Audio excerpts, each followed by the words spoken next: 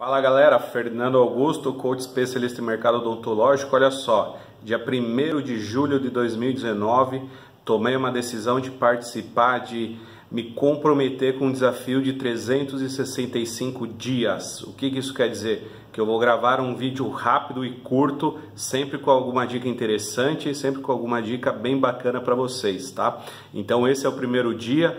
Vamos lá, vamos ver como é que vai ser esse desafio, tá? E já nesse primeiro vídeo já queria desafiar você. O que, que você poderia fazer na tua vida, nos teus negócios, para que daqui um ano você desejasse ter começado hoje, tá? O que, que mudaria a tua vida e o teu negócio? O que, que faria com que você prosperasse, tá? Então fico por aqui, amanhã a gente se fala. Um grande abraço e até mais. Tchau, tchau.